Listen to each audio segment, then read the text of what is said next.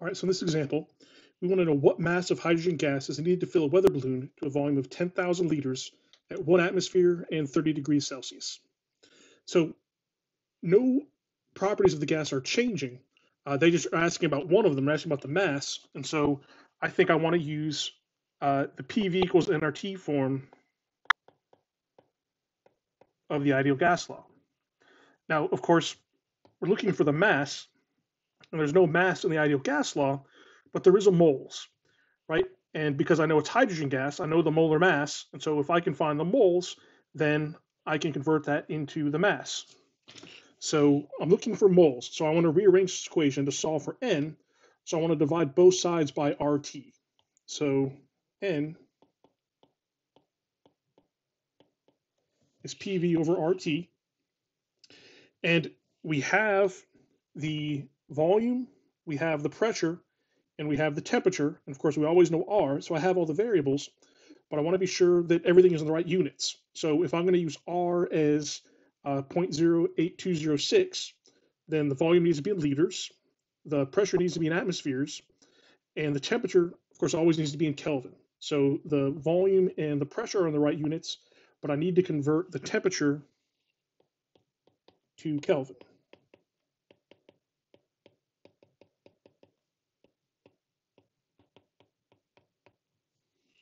All right, so I think I have everything in the units that I need. So I can plug everything in. So the pressure is one, and I'm just going to put in the numerical values. I'm going, to, I'm going to do the units off to the side. So the pressure, the volume, 10,000, R, and T. So for the units, I have atmospheres times liters, then divided by R, and R is a liter times an atmosphere, and then the mole dot Kelvin is on the other side, so that should go in the numerator, moles times Kelvin, and then temperatures in the denominator, so Kelvin should go in the bottom. Right, the atmospheres cancel, liters cancel, Kelvins cancel, so I'm left with moles, and that's what I'm solving for, so that's good. Uh, so when I do that math, I get that N is 402 moles.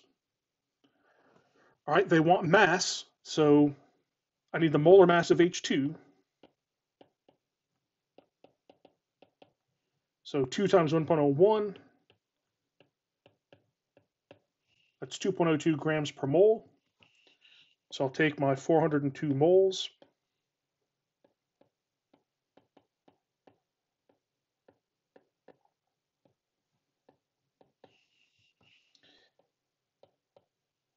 and I get 812 grams.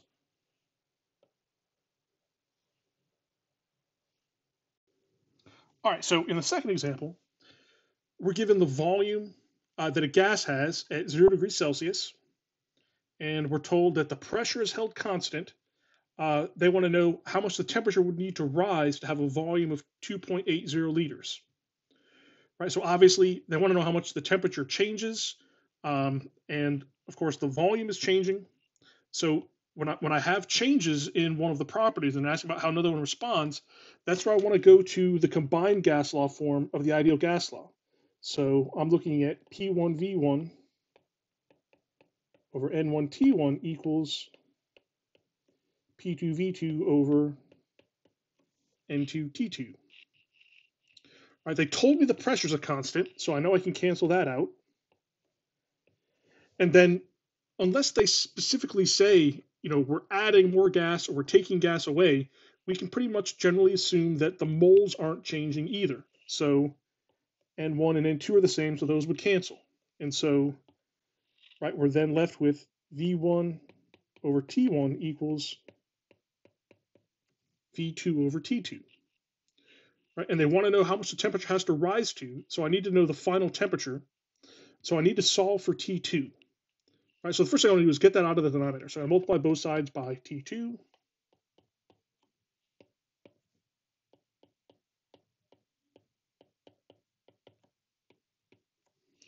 Right, now to get T2 by itself, I'll multiply both sides by T1, divide both sides by V1,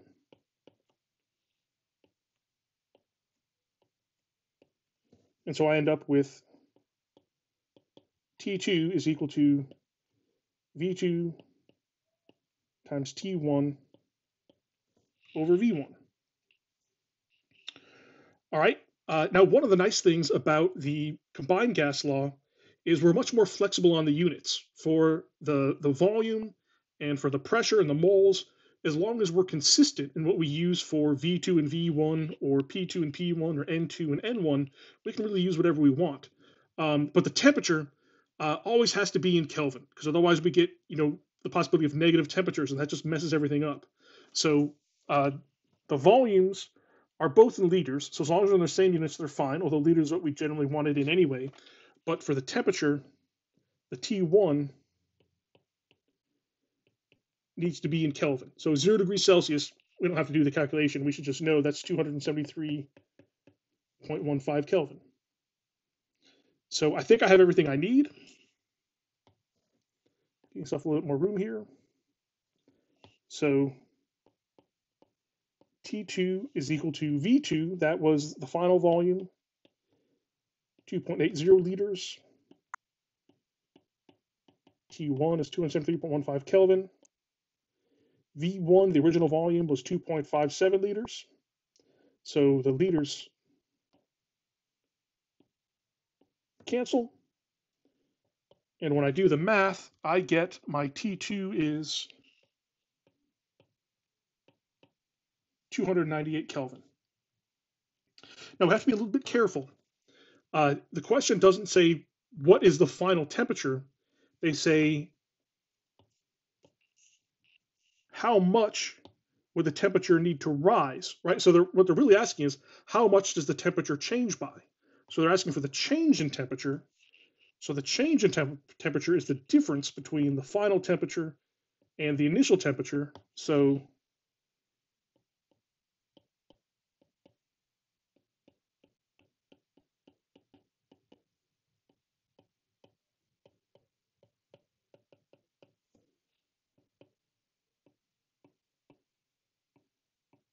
So the change in temperature is 25 Kelvin.